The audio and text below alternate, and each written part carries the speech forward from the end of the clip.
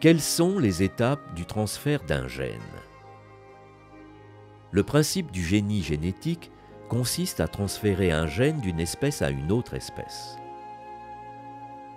La finalité de ce transfert peut être la production de grandes quantités d'un produit rare, hormones, enzymes, interférons, ou l'obtention de variétés originales de plantes ou d'animaux présentant une potentialité nouvelle liée aux gènes transférés, résistance à un herbicide, croissance améliorée. Quelle que soit la finalité recherchée, le transfert d'un gène nécessite toujours trois grandes étapes.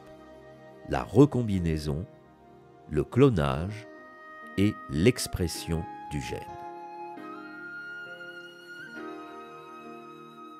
Commençons par la recombinaison in vitro de l'ADN. Toute chirurgie génétique débute par une recombinaison in vitro entre gènes d'espèces très éloignées qui, dans la nature, seraient incapables de mélanger leur matériel génétique. Il faut donc isoler le gène que l'on désire transférer de la cellule donneuse dans une cellule hôte, puis le greffer à l'intérieur de celle-ci. Les outils employés pour isoler un gène sont toujours des enzymes, mais deux techniques différentes peuvent être utilisées. Soit isoler le gène en découpant le génome de la cellule donneuse en petits fragments grâce à des enzymes de restriction, soit copier le gène à partir de l'ARN messager correspondant grâce à la transcriptase inverse.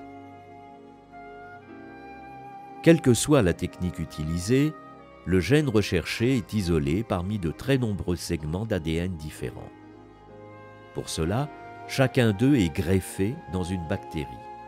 La technique consiste à insérer, grâce aux enzymes de découpage-collage, le fragment d'ADN dans un plasmide qui sert de vecteur au transfert dans la bactérie.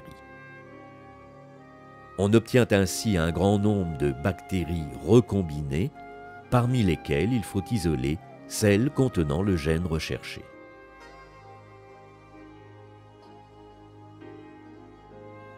Comment procède-t-on au clonage du gène? Chaque bactérie mise en culture se multiplie, constituant une colonie correspondant à un clone, population d'individus génétiquement identiques. Supposons que l'ADN d'une cellule humaine ait été découpé et ses fragments transférés chez le colibacille. On dispose maintenant de milliers de clones bactériens différents, chacun ayant multiplié un fragment du génome humain. Ces clones constituent une sorte de bibliothèque représentative du génome humain que l'on appelle couramment banque génomique. La dernière étape est l'expression du gène.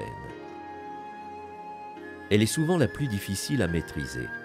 Elle a pour but de faire exprimer le gène dans une nouvelle cellule hôte où il déclenchera la synthèse de la protéine recherchée. Cela n'est pas immédiat. En effet, le gène inclus dans le plasmide ne peut fonctionner dans la cellule hôte que s'il est accompagné de signaux indispensables à sa transcription, courtes séquences d'ADN régulatrices ou promotrices qui le précèdent et le suivent. Il faut donc successivement ajouter ces signaux et introduire le gène ainsi complété dans un nouveau plasmide que l'on appelle vecteur d'expression. Ce dernier est alors transféré dans la cellule hôte qui est désormais capable non seulement d'exprimer ce gène, mais aussi de transmettre cette propriété à sa nombreuse descendance. S'il s'agit de produire en grande quantité une protéine rare, les bactéries ayant accepté le plasmide sont placées dans un fermenteur assurant les conditions optimales de multiplication et de production.